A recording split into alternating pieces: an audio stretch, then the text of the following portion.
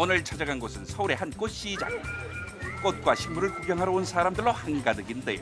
날이 따뜻해지면서 저마다의 색을 자랑하는 꽃들이 눈길을 사로잡습니다. 봄이어서 식물 사려고 왔어요. 봄이라서 집 인테리어 하려고 화분 사러 왔어요.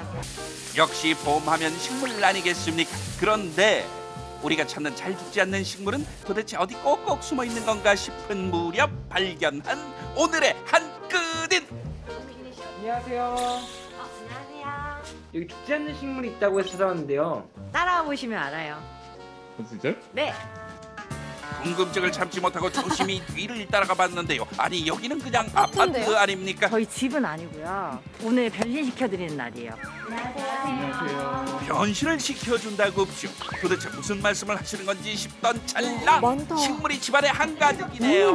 원래 카페를 가도 나무들이 많고 그런 카페 가는 걸 좋아하거든요.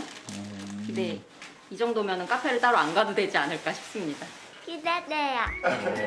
잘 죽지 않는 식물은 어디 가고 인테리어 공사가 한창인 한끗인 그런데 저희가 흔히 보던 식물들이 아닙니다.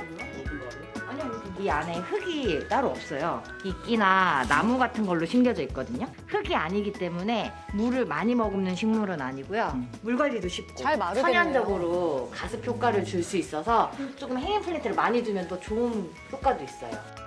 일명 행인 식물이라 불리는 요 녀석들은 공중에 식물을 매달아 인테리어 효과는 물론 집안의 습도까지 잡아주는 역할을 하는데요. 눈에 띄게 달라진 집안 습도 보이시나요?